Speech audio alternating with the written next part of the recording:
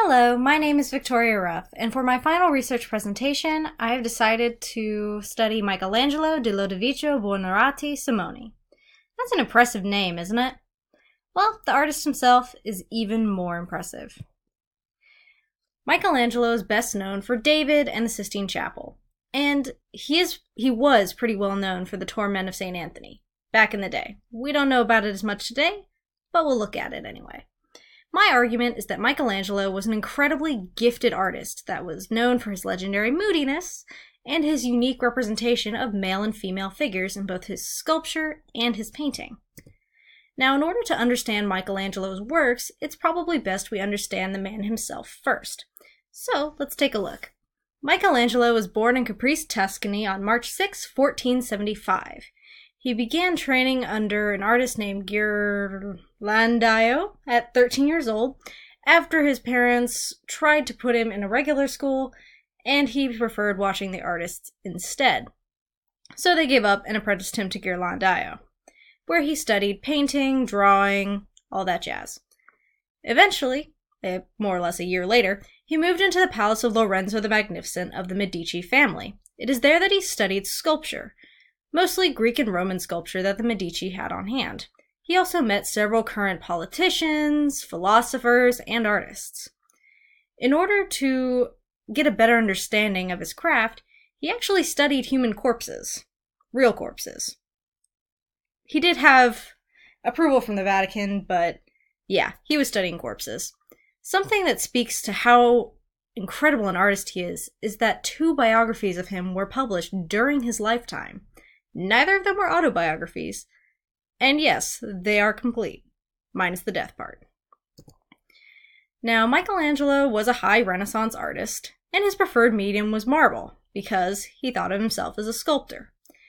This is not to say that Michelangelo only did sculpture. He would have liked to, I imagine, but he was also an accomplished painter, so he did several things in that as well. Let's take a look at David, David is a very impressive statue. It is made of Carrara marble and he stands at 17 feet tall.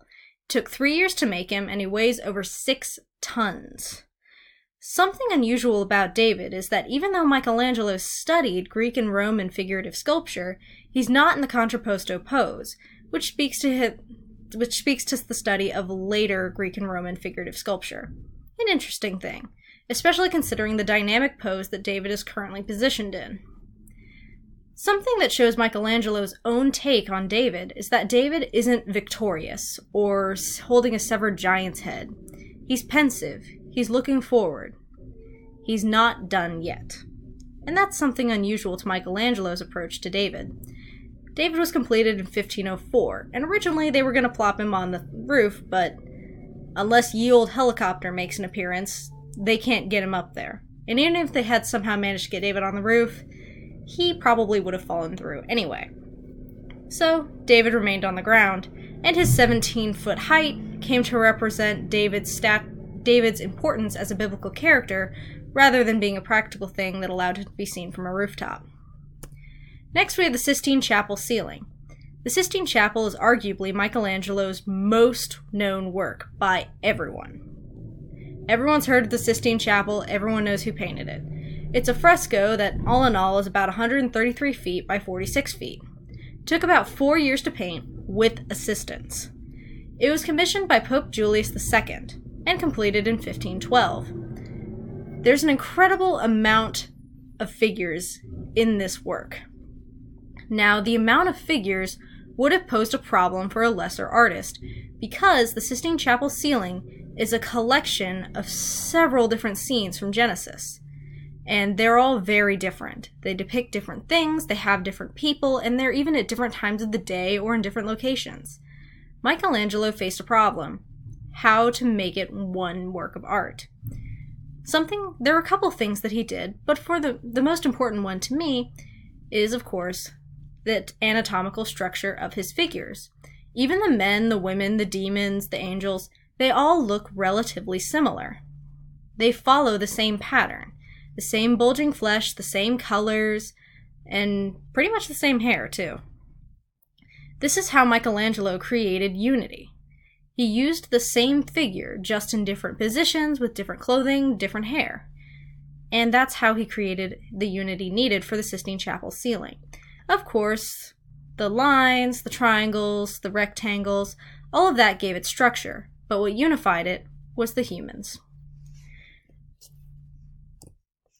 The Torment of St. Anthony. The Torment of St. Anthony, Anthony is one of the few early works we have from Michelangelo. Now, it's an oil and tempera on panel, which tells you right off the bat how old it is, because Michelangelo would not have willingly done something that was not sculpture. The size is actually pretty small compared to what we've looked at so far. It's 18 and a half inches by 13 and a quarter inches, and took him less than a year to paint.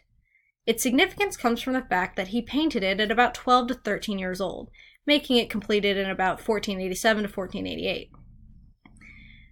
But this piece of art tells us more about Michelangelo than I think the Sistine Chapel does.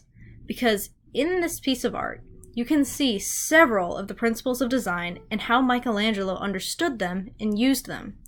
You can see how he used different colors to emphasize the saint and the demons and subordinate the stuff in the back. He used darker colors to show the evil of them. He used spikes to show that there were demons.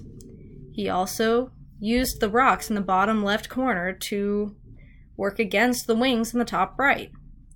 He created balance and unity in this piece in ways that I wouldn't have been able to even now. Michelangelo had an incredible understanding of how to use color, dynamic shapes, motion, light, texture to create exactly what he was looking for. This piece is part of why the Medici family invited him in the first place so it's fairly important to Michelangelo's journey. In conclusion, Michelangelo worked in several mediums, including marble, fresco, and oil. Michelangelo had an incredible understanding of human anatomy that makes itself known in almost all of his works.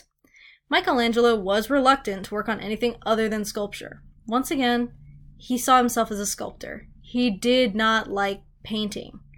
And the only reason he did the Sistine Chapel was because the Pope was the Pope that you do not mess with. He was nicknamed the Terrible Pope. Michelangelo used his study of human corpses to give a life to his paintings and his sculptures that no other artist at that time had. And this skill is what makes him renowned to us, and even back then. Now, I won't say that you should study corpses to reach Michelangelo's level, but you can definitely learn from Michelangelo himself. That's all from me. Thank you very much.